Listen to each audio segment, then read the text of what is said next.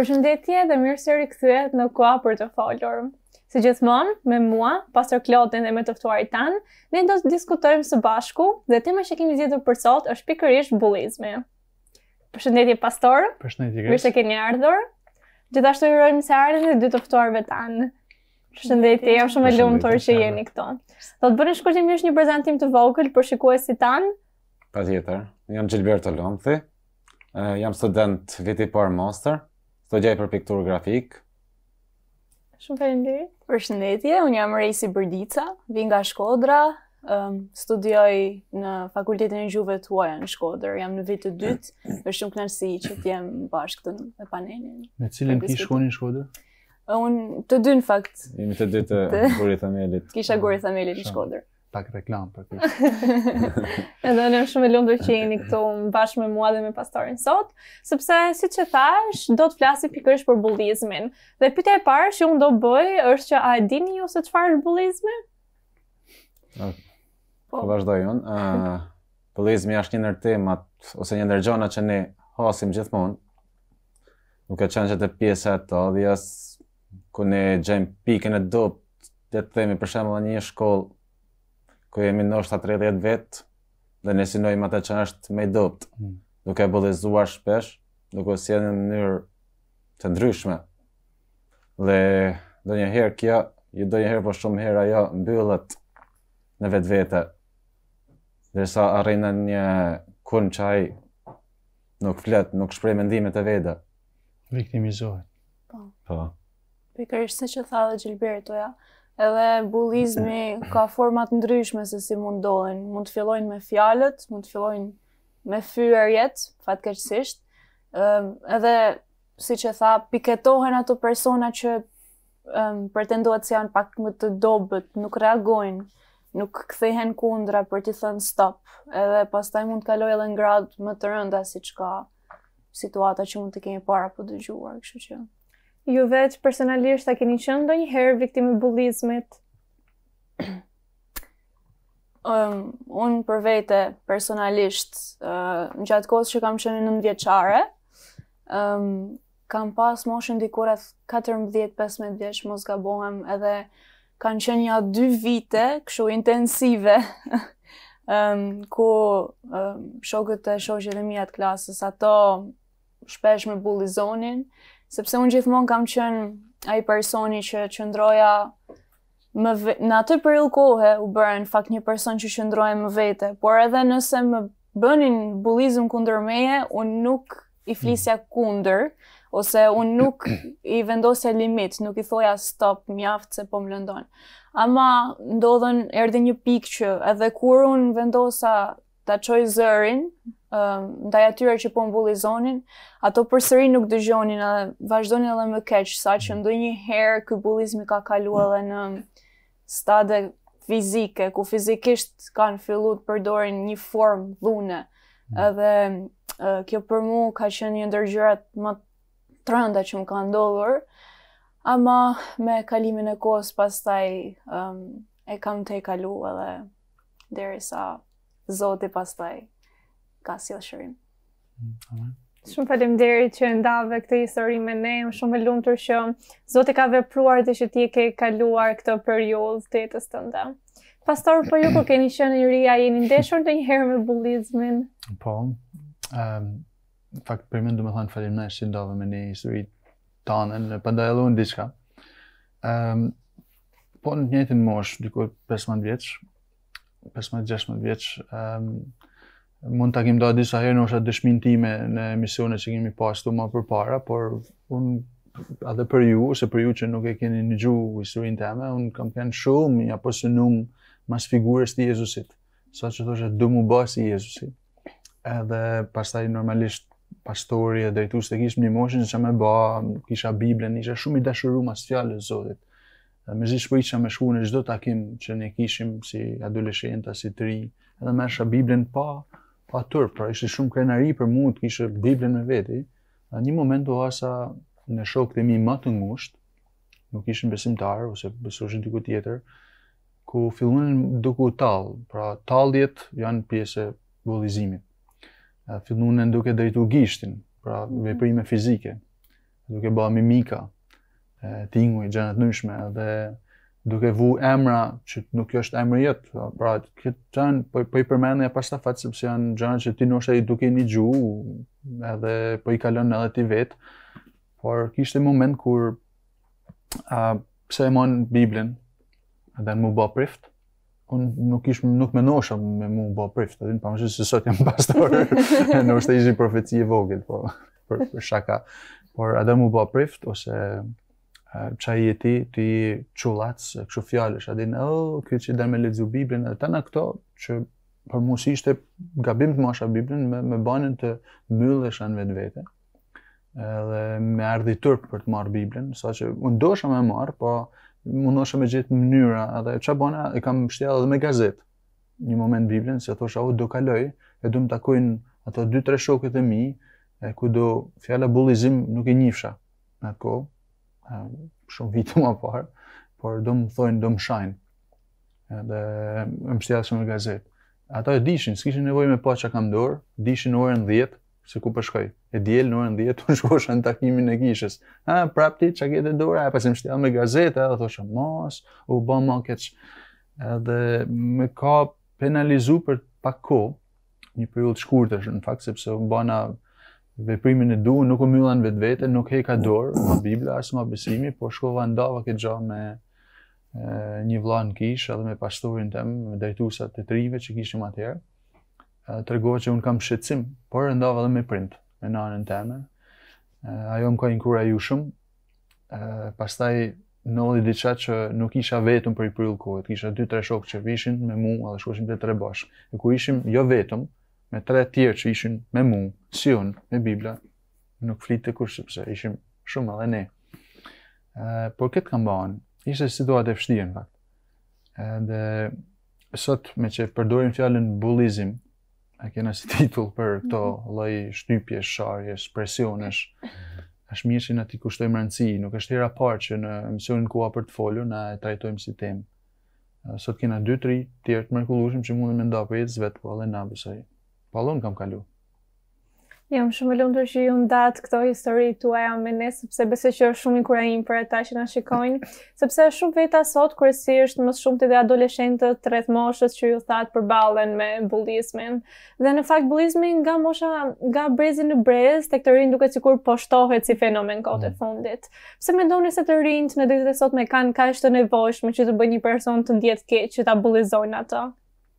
Në përgjithësi, bullizmi Mendoj që vazhdon që në moshë të vogël, që në që mund të jemi në klasë të parë ose në kopsht, kur fëmija thotë që jo më mori lapsin, jo mori këtë, jo m'zhyte këpucat, je fjala. Edhe nëse vërtet ne bullizojmë dikan, e ndihet keq. Dhe ne jemi disa nga faktorë që e bëjmë tjetrin ndihemi keq. Ne jemi ata që duhet të kujdesemi për atë tjetrin. T'i tregojmë dashuri siç thotë edhe Zoti vetë në Bibël. Tregoni dashuri tek tjerët.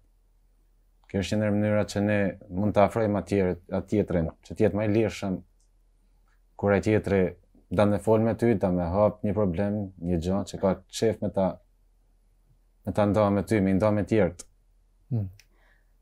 Po, termi bullizëm vetë fjala është diçka që ka ardhur kohët e fundit, por bullizmi ka ekzistuar gjithmonë. Gjithmonë. Nuk është një gjë e re. Edhe gjithmonë pra tallja duke kaluar në stade të ndryshme ka qenë pjesë e shoqërisë, e çdo shoqërie.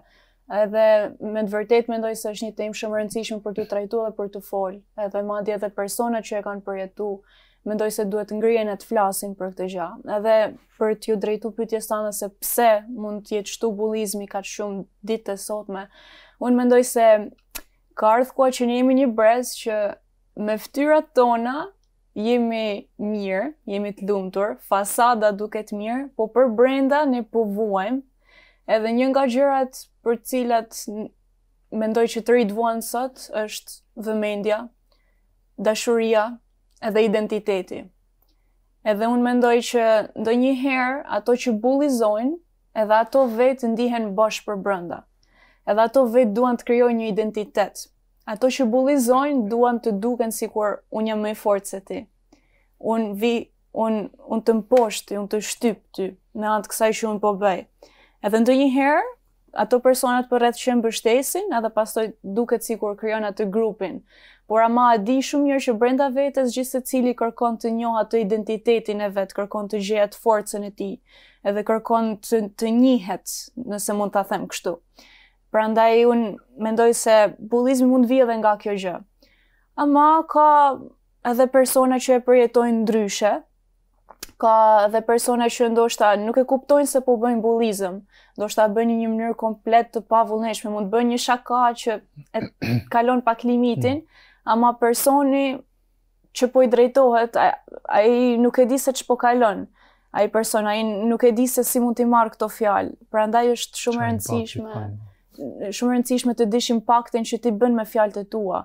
Ka persona që nuk kujdesen me atë që thonë. Prandaj unë mendoj se kjo është një nga gjërat që e ka bërë bullizmin të shtohet ditët e sotme. Sidomos sot ku ajo që promovohet më së shumti është fasada. Të kesh atë fasadën perfekte, të dukesh i qeshur gjithmonë. Dukesh i qeshur, je i lumtur, je i rregulluar, je mirë, ama nuk është kjo ajo që me të vërtetë është përbrenda atij personi që po bullizon. Prandaj unë mendoj se kjo është një ndër gjërat që ka bërë bullizmin të rritet edhe më shumë, sepse mm. çdokush do ta krijojë këtë fasadën, çdokush do të krijojë, ta arrijë këtë standardin që shoqëria ka vendosur për ne që ta arrijmë. Ama kjo nuk është ajo që Zoti kërkon nga ne, sepse Zoti na ka kriju me identitet. Edhe Zoti na ka kriju në shëmbëlltyrën e tij, ne jemi të krijuar në shëmbëlltyrën e Zotit, sipas pamjes së tij, edhe ne jemi të krijuar në mënyrë perfekte, mm -hmm. kështu siç jemi. Po, është vërtet, në qoftë se mund të shtoj diçka, um, domethanë me të vërtet si shoqëri e vujmë këtë gja, um, mund të jetë diçka që na mungon është uh, t'i japim za problemit, ne mbyllemi shumë shpejt. Edhe e kam, sidomos të rinjt, nuk është problemi im, nuk e çojnë zanin, o, është problemi i Reisit, është problemi i Klodit, është problemi i tij, i këtij, e din, pra edhe mbyllen, edhe kur e shohim dikën tjetër duke bullizu një shok apo një shoqe në klasë apo në punë apo në rrugë, nuk reagojmë. Ne si shoqëri duhet të reagojmë ndaj situatave të ndryshme. Ehm, pëlqej shumë ajo që preke kur the Zoti na ka krijuar në mënyrë perfekte. Dhe është e vërtetë. Ehm, në Shqipëri e kemi pak eh, si gjenetike këtë gja, sepse mund t'i dallojmë gjanat si me një lupë, menjëherë, oh, qe ky, qe ajo. Edhe drejtojmë, ndoshta jo me të vërtet gishtin, por vëmendjen në një mënyrë eh, të çuditshme, pra reagojmë menjëherë, habitemi, kur shohim diçka jashtë standardit, jashtë normalitetit. Por Zoti me të vërtetë ka ba në mënyrë unike secilin prej nesh. Edhe ashtë si gjurmët e duarve që janë unike për çdo person. Edhe ato persona që mund të kenë ndoshta një problem fizik, në pamjen e jashtme, ka persona që janë komplet të qeshur shumë mirë, por mrena vedit ka një diçka të fshehtë që nuk e ndajnë dot, edhe mjafton një fjalë, po edhe më i forti i grupit që bullizon dikën tjetër, më i forti në një moment të caktuar në jetën e vet ka me has kët vështirësi, edhe ka me kuptu se çfarë do me thanë me ba një gja të tillë, edhe gjëja e parë që ka me kërku janë ato të fortit e tjerë, ku m'u mbështet. Kështu që pse me çu vedin deri në këtë pikë, edhe jo mos m'u ba i forti ku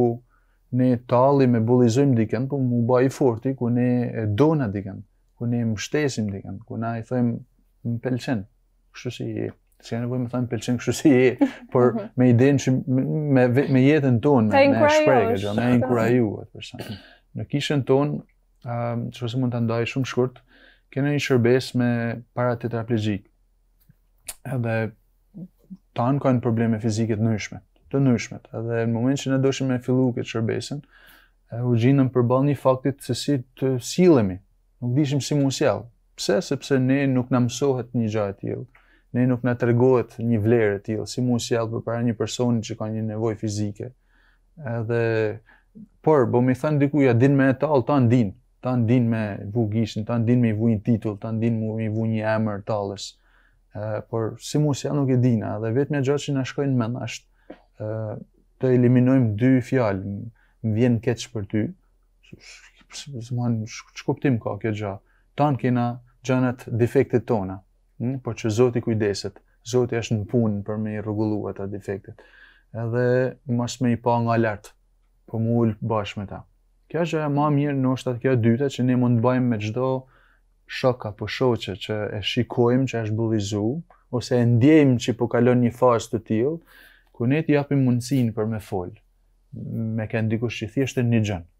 A din mu ul me ta bashk në një nivel. Kjo kjo na ka ndihmu shumë, kjo më ka ndihmu mu shumë kur kam gjetë dikën mhm. për me nda.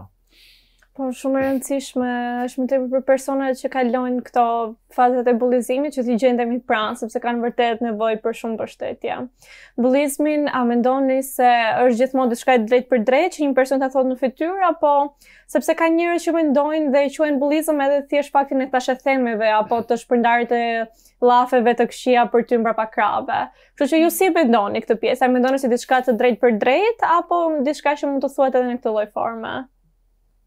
Ëh, uh, fjala sido që të thohet, si fsheht për fsheht, si ball për ball, zemrën atij tjetrit ia kemi thy. Është e njëjta gja. Kështu që Zoti na ka kriju si tha dhe pastori, na ka kriju sipas shëmbëlltyrës vet. Dhe gjithë janë njësoj para Zotit. Zoti na ka kriju kështu siç jena, me dasht njeni-tjetrin, nuk është nevoja ta bullizojmë atë tjetrin vetëm për këtë arsye. Për këtë arsye ai mund të mbyllet shumë brenda mendimeve të veta, që ndoshta mund të shkojnë edhe një pasojë shumë të rëndë. Hmm. Kështu mendoj unë. Hmm. Edhe unë siç e përmenda më përpara, bullizmi vjen në forma të ndryshme. Edhe një nga format që mund të përdorin mund të jetë edhe kjo që ti përmende, pra thashethemet. Ëm um, besoj se mund të jetë një formë për të të bullizu në mënyrë indirekte, duke e di që ajo të po, duke e di që ajo temë që po përmendet, ty të prek. edhe ty të dhemb, edhe ato mund ta përhapin si gjë kështu brenda grupit, e ndërkohë që ti e kupton pastaj se është përhap ky lajmi, ky thashethemi, atëherë ty të thehet zemra, sepse mund të jetë diçka që nuk është e vërtetë, edhe këto bullizuesit po i bëjnë të tjerët të besojnë diçka që nuk është e vërtetë. Pra unë mendoj se po, ekziston, edhe kam parë edhe raste të tilla. Ëm, jo se ka ndodhur me mua Në fakt ka ndodhur edhe me mua specifikisht, por kam parë edhe shumë raste tjera në rrethin tim mm. shoqëror apo në klasën time. Edhe nuk është diçka që nuk ndodh. Është um, një nga format se si bullizmi ushtrohet tek tjerët, është një tip taktike nëse ia quaj unë të tjerëve. Pas, a e quani si formë bullizimi dhe këtë pjesën e thashethemeve, të folurit prapa krahëve?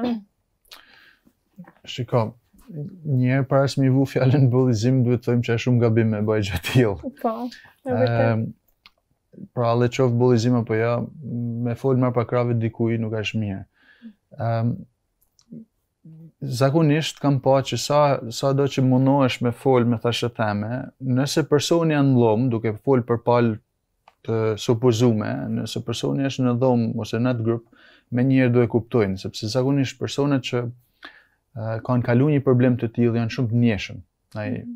çdo fjalë që mund t'i vijnë në diskutim e marrin ndoshta shumë personalisht. A s'duhet me i vu faj sepse kanë kalu një fazë të vështirë.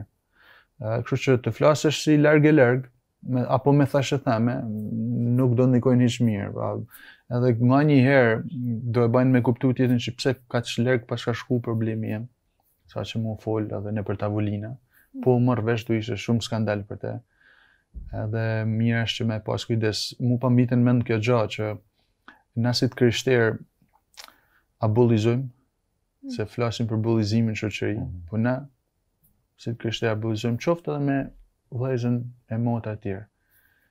Ë kanjëherë e bajmë tu lujt, tu qesh, e bajmë si për shaka. Por duhet me mbajt në mend këtë gja që fjala ka fuqi. Ë edhe kur thojm fjalën e mirë, Po, edhe kur thojm fjalën e keqe, edhe është një, si është e fjalë e vjetër popullore, fjala vret ma shumë se sa po. plumi, e? Edhe ka fuqi për këtë gja, sepse kur na edhe në shaka e sipër, e lozim me dikën, sidomos që nuk e njohim 100%, mund ta lëndojmë shumë. edhe nuk e presim prej dikujt që me na thanë, sidomos në rrethin tonë. Nuk e di a ndodh me ju, po, apo jo, po.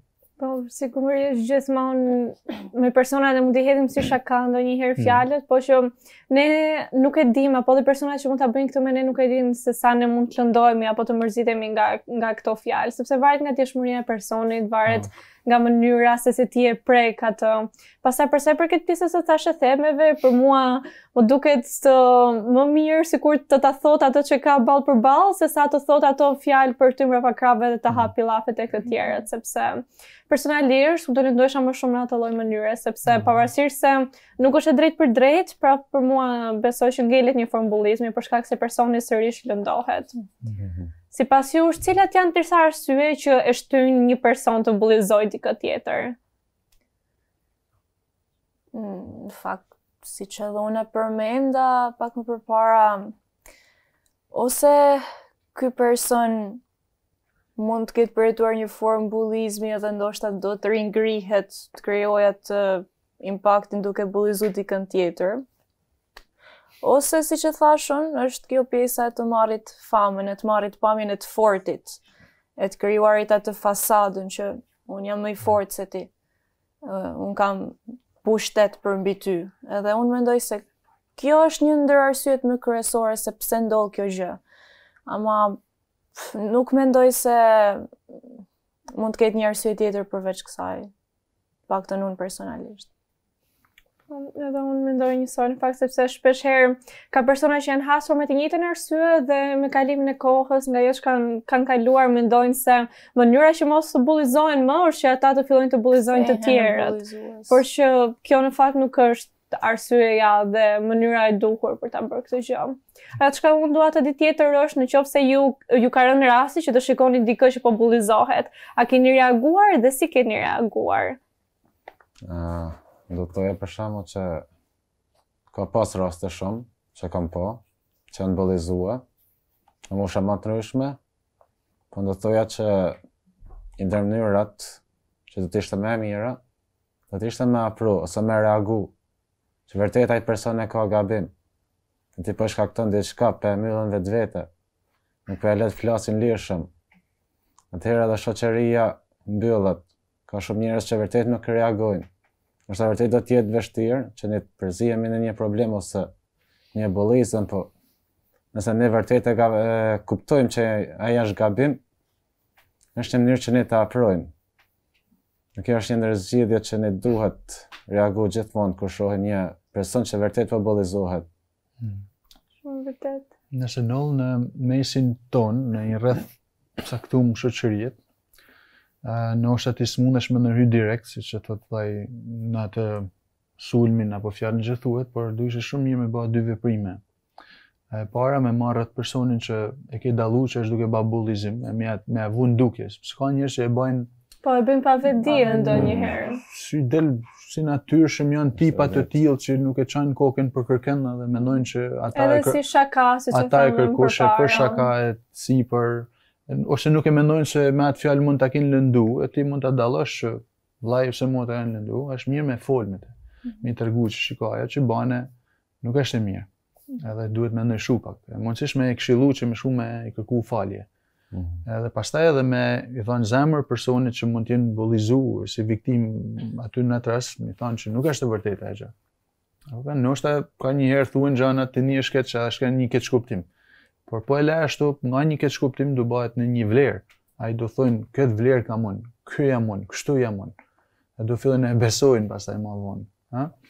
Ehm, mendoj këto gjana duhet të dy pjesë duhet me i ba, se zemën qoftë se na kena shok ose shoqe që i dallojmë që janë në një nivel apo bëjnë një lëvizje të tillë. Mos e leni pa ia thanë. Shumë e rëndësishme. Po shumë e rëndësishme që dhe t'u gjendemi një pranë gjithmonë për t'i inkurajuar, po. për t'i mbështetur sepse siç dhe ju e thatë kur ushtrohet kjo trysni e madhe me fjalë nga të tjerët, personi Fillon edhe vetë e beson më pas atë çka i thuhet, edhe kjo sjell një gjendje jo të mirë më pas tek ai. Mm. Pastor, po ne si të krishterë, si mundemi që t'i ndihmojmë të tjerët që bullizohen, si mundemi të jemi në ndihmë për ta duke u mbështetur te fakti që jemi të krishterë që besojmë tek Jezusi. Shiko, ne kena një vlerë që është shumë e madhe, pra besimin në Krishtin. Ajo vle, domethënë të besosh në Krishtin, na jep ne mundësinë për me ndryshu jetën tonë, me hek veset e këqija, me restauru jetën tonë, me marr vlerë tjetër jeta jonë. Edhe Rejsi i tha, se çka ka ba me jetën e vetë, unë e thashë çka ka ba me jetën teme, dhe ja ku jena sot, i japim lavdi Zotit, adhurojmë Perëndinë, ndajmë Ungjillin me të tjerë, ndajmë këtë vlerë, të qenunit bijë apo bir i Perëndisë. Edhe kur shofim persona që janë bullizu, mendoj gjëja e parë që ne mund bëjmë është me i tregu dashnin ton për ta. Dashnin e Zotit për ta, me tregu të vërtetën. Cila është e vërteta? Zoti nuk i shef me të njëjtën mënyrë. Zoti nuk është dakord me atë. Zoti i shef këtë ndryshe. I jep atë vlerën që ai ka. Shumë unik, të veçantë që s'po përsërisim atë që thamë më parë, por duhet me ia thënë këtë të vërtetë. Dhe kjo e vërtetë ka me ba t'lirë atë person. Edhe kjo e vërtetë ka me pra ka nevojë me e ni prej nesh. ka nevojë me pa edhe ne si t'krishterë si vendin ku ata mund të mbështeten. Vendin ku ata mund të pyesin a është e vërtetë kjo gjë. E vendin ku ata mund të flasin lirshëm. E kur ne hapim zemrën tonë me ta, kur jena gati me fol, mendoj ata do të dalin nga kjo situatë pastaj. Sa herë që ta nëgjojnë, s'do ketë ma peshë ajo fjalë, sepse e dinë, jo, jo, kjo s'është e vërtetë. Kjo është e vërtetë, sepse unë e di që motra jeme, vllai jem, që unë i kam në besim, ma thojnë vërtetën. Nuk më gënjen, nuk më rrenë, nuk transformojnë gjanat. Edhe përveç kësaj edhe me, me i nxit pak, edhe me fitu pak besim, jo në vetveten si person, po në atë që Zoti don me ba me ta. Ha? Pra me i nxit pak me, kal, me kalu kohë me Zotin, me u lut, me i thanë Zotit, pra me i thanë ato vlera. A din që na thotë në Bibël, ti je si bebza e synit tem, thotë Zoti. Mm. Mhm. Ha? A, pra ti je i dashur për mu. Unë të deshta i pari. Tana këto fjalë, kush s'ka nevojë me i nigju, gjithkush. Aq ma shumë kur je i viktimizum në ato shprehje bullizimi. Edhe asht mirë që na me inkuraju, si me i tregu këto vlera në Bibël, me i nxit vllain ose motën që shiko, lexo se ça thotë Zoti për ty. Kështu mendon, kështu mendon Elon për ty. E kështu mendon edhe tjetri, edhe tjetri, edhe tjetri. Se ça thotë një person nuk janë shumica. Hm? Edhe mendoj kjo është një ndër ato gjana që ne mund të bëjmë si të krishterë. Ne përmendëm pak më parë që duhet t'ua vëmë në dukje personave që bullizojnë që ti mund të jesh duke e lënduar personin tjetër, por çfarë mendoni se është diçka që këto individë mund të bëjnë apo të punojnë me veten e tyre në mënyrë që mos të bullizojnë më të tjerët? Atëherë unë personalisht mendoj që siç e thamë ndonjëherë bullizmi ndodh në një mënyrë të pavetëdijshme. Edhe hapi i parë siç e përmendëm është t'ia vendosim në dukje që shiko se po e kalon limitin. Pastaj gjëja tjetër është që këto persona duhet ta mësojnë, ta marrin parasysh faktin që jo çdo njeri i merr fjalët edhe i përjeton gjërat që i thuhen njësoj. Çdo njeri preket në mënyrë të ndryshme, nëse mund ta quaj kështu. Edhe unë mendoj se një person duhet të kujdeset shumë i herë me fjalët që nxjerr nga goja, dhe duhet ta mendojë dy herë, sepse fjalët kur nxjerr o janë për ndërtim, o janë për shkatërrim mm. një farë mënyre. Edhe kjo është një ndër gjërat që ato persona që bullizojnë ose bëjnë shaka, janë tipa shakaxhi kështu edhe ndonjëherë kalojnë limitin, duhet ta punojnë me veten e tyre që prit ta mendoj pak a ta them a mos ta them këtë se mbase nuk është aq mirë nëse e përmend. Edhe kjo është një hap konkret që këto persona mund ta marrin. Pastaj një gjë tjetër është të kuptojnë edhe pasojat që vijnë prapa. Pse? Sepse këto persona që bullizohen nuk mbaron aty. nuk mbaron vetëm te bullizmi. Bullizmi ka pasoja tek personi që po bullizohet. Mm -hmm. Unë për vete kur filluan të më bullizonin, erdhi një pikë që ë uh, m'u mor komplet vetëbesimi. Fillova të besoj siç e përmendë ti, fillova të besoj fjalët që po më thonin. Mm -hmm. Pra, unë qenkam e pa vlerë, unë nuk qenkam askushi, edhe në atë moment pastaj unë fillova më dha një rezultat i tërë që rashë edhe nga mësimet. Pra, ra dhe produktiviteti im, nuk kisha më dëshirë t'i bëja gjërat si më përpara. Edhe pasoja më e rëndë që më solli, bashkë me shumë rrethana të tjera që unë kisha në jetën time, ishte se më solli depresionin. Edhe aty unë u futa në në kohën më të errët të jetës sime. Derisa Zoti ka përdor njerëz, edhe Zoti ka përdor fuqinë e tij mm. që të më nxjerr nga ai vend ku isha. Edhe aty un pastaj e kam kuptu që un me të vërtet kam vlerë, mm. edhe un me të vërtet jam krijuar sipas shëmbëlltyrës së Perëndisë, edhe Unë me të vërtet kam ato cilësitë dhe veçantitë e mia që vetëm Zoti m'i ka dhënë. Mm. Edhe unë, siç e tha pastori, unë jam bebza e syrit të Zotit. Edhe ishte Zoti që më deshi i pari, ishte Zoti që më krijoi. Zoti më ka njoh që, që në bark të nënës time. Zoti më ka thur, më ka ndërtu në një mënyrë shumë perfekte. Edhe prandaj Bullizmi nuk është diçka që shkon, që është vetëm fjala, që është vetëm tallja, por bullizmi mund të lërë edhe pasoja që për disa persona mund të jetë e vështirë pastaj t'i kalojë. Siç ishte edhe për mua. Un kam kalu pothuajse 2 vjet në atë gjendje ë uh, depresionit. ë uh, dhe të bullizmit, edhe për mua nuk ka qenë e lehtë të dal. Por lavdi Zotit që Zoti i shikon zemrat që e kërkojnë edhe zemrat që kanë dhimbje dhe Zoti shkon tek um, ai që është i dobët. Zoti i ngre lart ato që janë të dobët. Edhe Zoti është ai që solli pastaj shërimin tek unë. Ama mm. personat që bullizojnë me të vërtetë që duhet ta mendojnë dy herë para se të flasin diçka, sepse duhet të jenë të vetëdijshëm edhe për pasojat që po shkaktojnë. Edhe mendoj se çdokush që bullizon duhet ta sjellë në mend po sikur e njëjta situatë ndodh me pjesëtar të familjes sime. Si do reagoja unë? A do isha unë i kënaqur? Mendoj se duhet t'ia bëjmë këtë pyetje këtyre personave që bullizohen.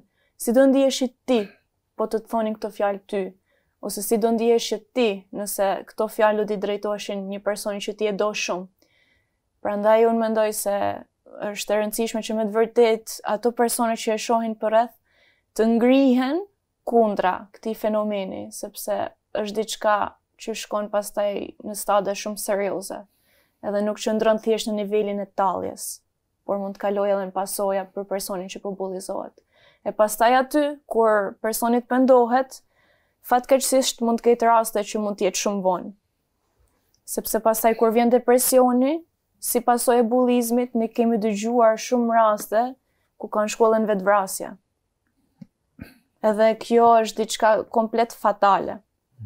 Prandaj është e rëndësishme t'i vendoset limiti këtij fenomeni, sepse me të vërtetë këto persona duhet ta dinë pasojën e asaj që po thonë e po veprojnë e po bëjnë. Peshën. Peshën.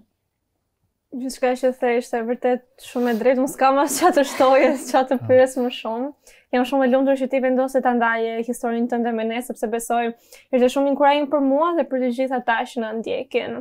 Dhe për të gjithë ata që mund t'jenë duke u përballur me bullizmin në këto momente, dua të di se një inkurajim të shkurtër se çfarë do t'u thonit ju atyra. Uh, Zoti përmend në Bibël, ku Zoti na thotë, tregoni dashuri, Për vllanë tënd, për motrën, për nënën, babën, për secilin, për shokun, familjarët e tu, për secilin. Zoti thotë tregoni dashuri, sepse edhe unë ju desha ju. Zoti bëri një sakrificë të madhe në kryq, dhe pse e bëri? Për shkak dashurisë që Zoti kishte për ne. Dhe për shkak mëkateve që ne kishim, Zoti e bënë sakrificën e vet, edhe ne duhet që ta dojmë njëri-tjetrin. Zoti e specifikon dashurinë si gjëja më kryesore tek njëri-tjetri. Pikërisht dashuria është një nga gjërat më të mëdhaja, edhe um, Zoti thotë që edhe sikur të gjithë të ta kthejnë shpinën, un jam aty me ty. Un nuk të braktis. Kështu që për personat që mund të ndihen bullizuar, Mendoj se ky është një inkurajim që Zoti është ai që asnjëherë nuk të braktis. Mm -hmm. Edhe Zoti pastaj do të përdorë fuqinë e tij për të sjellë shërim, mm -hmm. sepse Zoti është restauruesi i çdo gjëje, nuk ka asgjë të pamundur për Zotin. Edhe Zoti do të vendosë persona në jetën tënde që ti ta përballosh atë situatë. Ama edhe për persona që janë afër këtyre njerëzve që bullizohen, fjala ka me të vërtet shumë forcë. Edhe në momentet e mia me të vështira, ajo që mu dha shpresë për me dal nga situata, ishte se dëgjova. Dëgjova që është dikush që më do. Pashë dashurinë në sytë e dikujt, një dashuri të vërtetë, edhe pashë që unë me të vërtet jam e vlefshme kështu siç jam. Prandaj është e rëndësishme t'ia shprehim këtyre, këtyre mm. personave që shiko, se ti ke vlerë. Edhe nëse kjo po ndodhë, nuk është e vërtetë. Këto fjalë që ty po të thuhen nuk janë të vërteta. Prandaj duhet të jetë dikush që duhet të ngrihet edhe që të ta marrë ty dorën edhe të të ngrejë lart asaj errësire ku të kanë vendos, mm. lart asaj situate ku të kanë mm. vendos. Mm. Prandaj inkurajimi im është që i pari Zoti asnjëherë nuk braktis, edhe Edhe nëse çdokush të braktis, ai do të jetë aty, ama kërko për persona që me të vërtet ty munden të t'inkurajojnë, edhe me lutje, me shumë me shumë përkushtim është e arritshme të dalësh nga bullizmi, edhe nëse je futur në depresion, mund të dalësh edhe nga aty, edhe nga aty ka shërim. Hmm. Pastor, dhe ju një mesazh të shkurtër?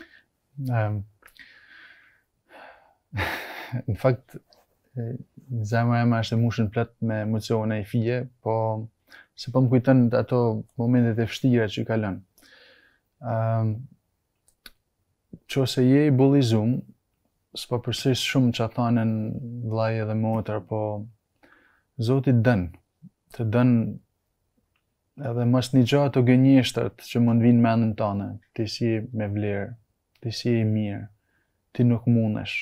Ato janë gënjeshtra që djalli i thotë. Edhe mundohet me t'i thanë me format nga më të ndryshmet.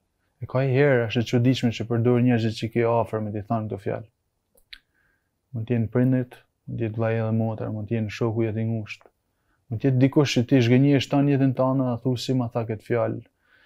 Por Zoti s'ka me t'zhgënjy kurrë, kur ai t'don ty, ai t'don me të vërtetë t'don fort. Ka me ba madje me ndryshu edhe zemrën e babës, nanës, vllait, motrës, apo shokut tand të ngushtë, apo shoqes, apo shoqnisë tande, ka me ndryshu jetën e tyne.